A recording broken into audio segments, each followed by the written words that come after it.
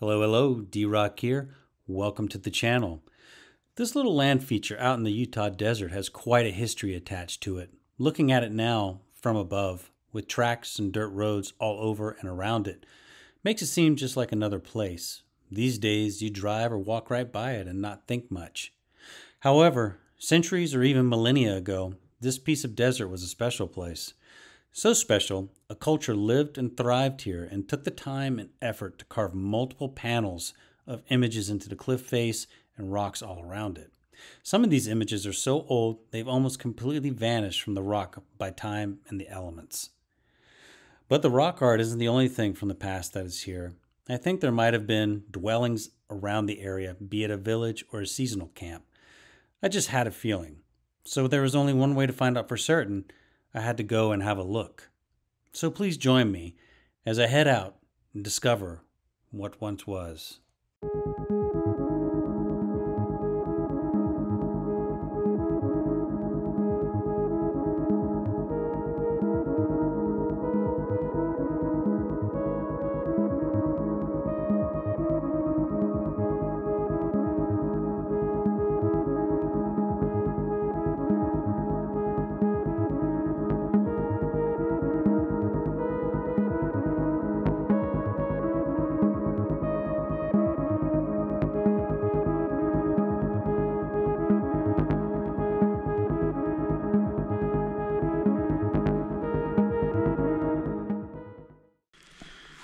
Well, the rain wasn't supposed to come in till around 3 p.m., but uh, that didn't work out so well. So I'm out here and I'm not quite to my destination, but I mean, everything looks really suspect out here. So if I see something interesting, I stop and uh, I'll get out and have a look because there might be some, some rock art that I haven't seen out here and I would like to see it if there's something. So it's always good to stop and have a look because you never know what you can run into. But uh, hopefully the rain passes and it's just a squall and doesn't really get bad because I'm out here far enough out in the dirt that if it, if it really dumps, pours, and gets saturated, I run the chance of getting stuck. So it is what it is. But uh, we'll have a good look today and see what we run into. So I was looking up here and I thought, uh, this probably, might be a good spot for some rock art. Maybe not, but we're gonna make a quick walk up here anyway and see if there's anything. Yeah, it's all this stuff. Not gonna be any rock art on that. But uh, boy, it's, it's a good area for ruins and stuff.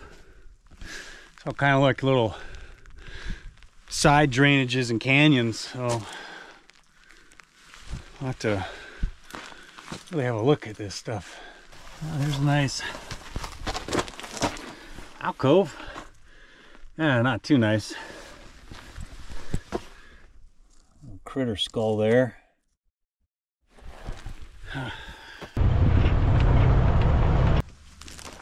So I just spent about an hour riding around in circles on the dirt roads I got back in the truck, I thought uh, pretty heavy squall was moving in, but uh, I think it's going to be rain free for a few hours anyway. I could be wrong, but so like I said, I got back in the truck and kind of got myself turned around and I believe I got myself situated now. So we're we're back on the hoof cutting through some desert and hopefully we wow. What is that? That is a massive piece of pottery right there. There's some, huh, how about that? Well, that's pretty cool.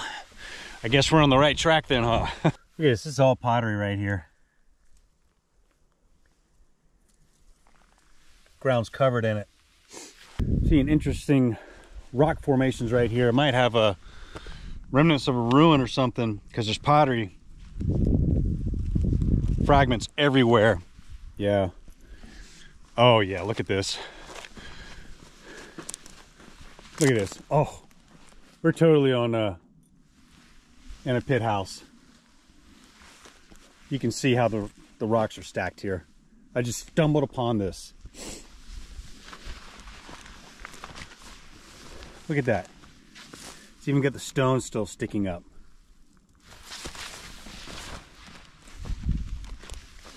You completely see how this was done here. That's uh, pretty cool. I wasn't expecting to. There's uh, ruins all right here. I'm just on top of them. Wow. That's pretty cool. Well, that's a good start. no wonder there was so much pottery right there.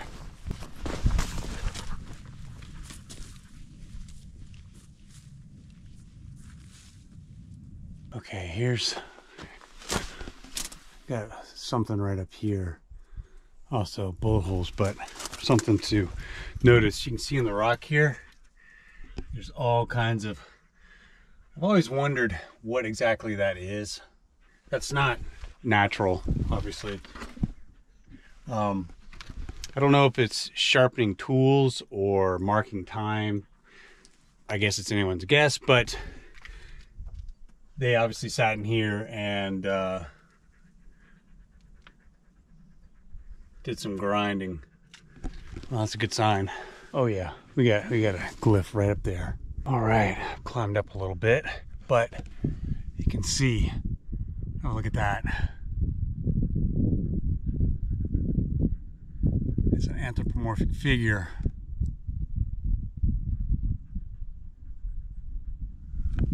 And I got a couple more over here. I got a whole bunch of stuff right here. Interesting. This is old stuff right here. Very old.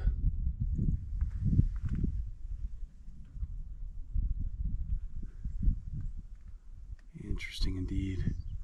All right, we're about to get in front of a massive panel. It's uh, quite spectacular.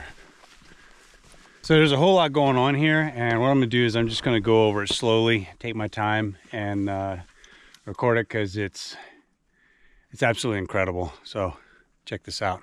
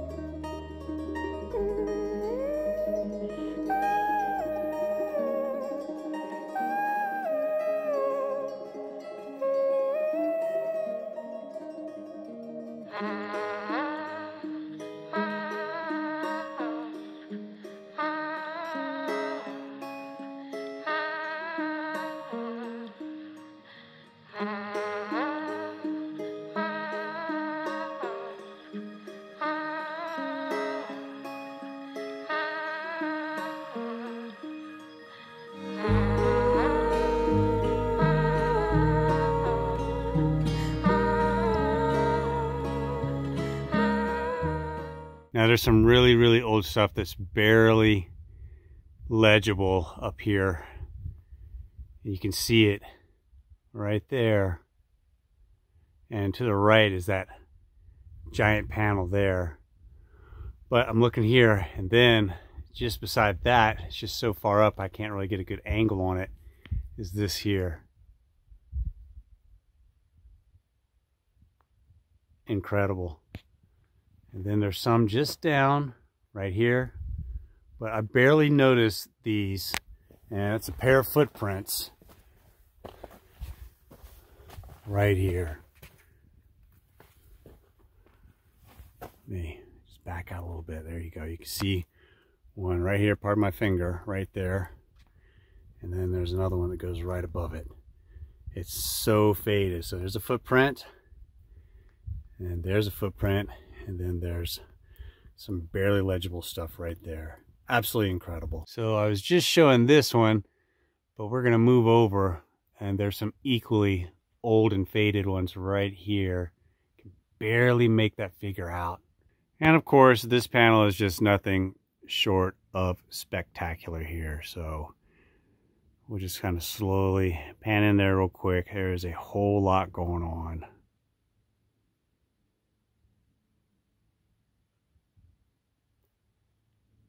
I could stare at this for a very long time. So this panel here really, really gets me thinking almost more so than the, the really big panel just to the right over there. But these impact craters here are from bullets.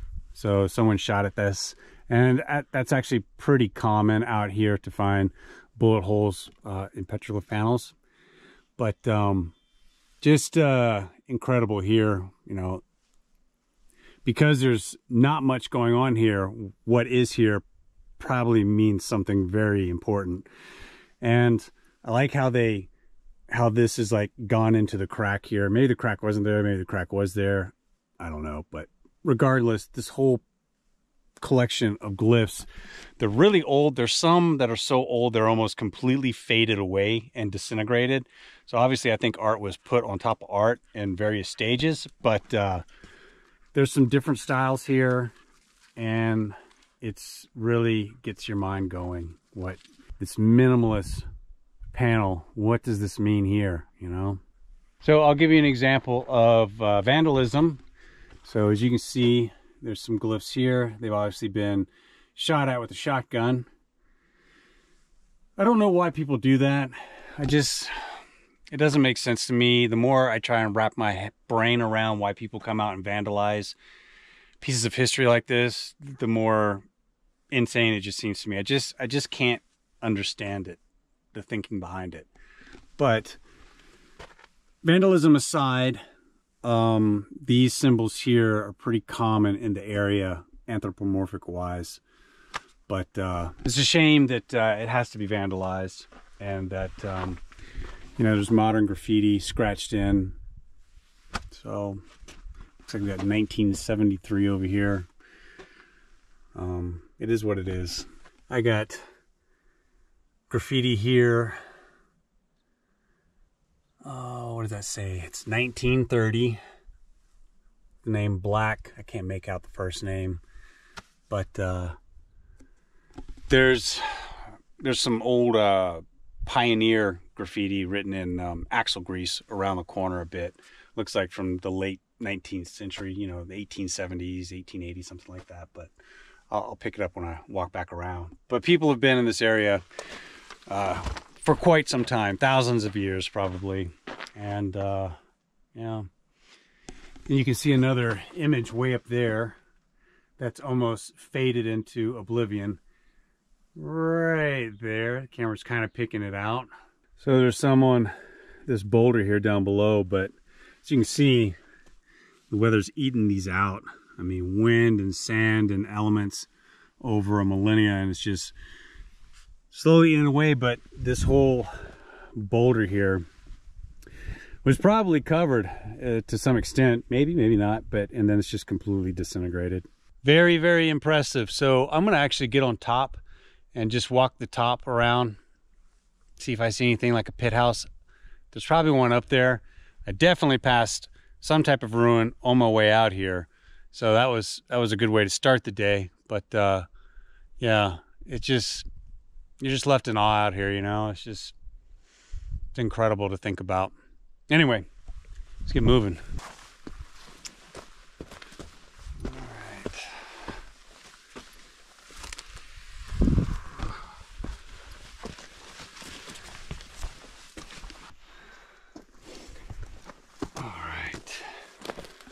On top. There's got to be something up here. So I'm immediately seeing suspect rocks and I've got pottery fragments around as well. I'm feeling that we, we may run into a pit house. Well, I got a depression here with uh, flat rocks placed in. So I think this is this is probably a ruin right here. You gotta remember, it's, it's been covered up over a long time, but you can see there's rocks stacked right here and placed. So this is probably, and I mean, it's just, you got flat rock here. Everything's lined up. Yeah, this is probably a pit house here. There's pottery fragments everywhere here they're just there's pottery everywhere. So these are ruins up here like this. Here's another pit right here. There might have been just a whole village up here. There's look at the ground is absolutely this is all pottery right here. It's everywhere. You got the corrugated stuff. There's just there's there's pottery everywhere. So the whole top of this thing was probably like a some type of small village or something. It's a trip.